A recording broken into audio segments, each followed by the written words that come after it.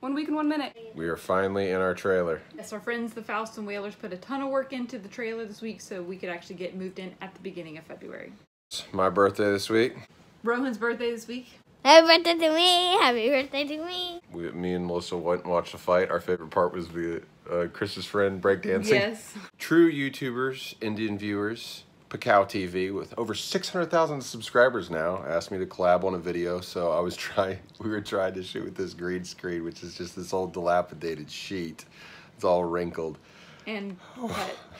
This much room to move. I can't move. So Why is it, he looks like a T-Rex because his hands are so close to his chest. Aaron joined me and Melissa helping us set up the lights the first time. Yeah, I was doing my best Captain Russell impersonation, like interpreted through the Wiggles. what movie we watch for your birthday? Up. The best movie in the whole world. Keep in touch, y'all.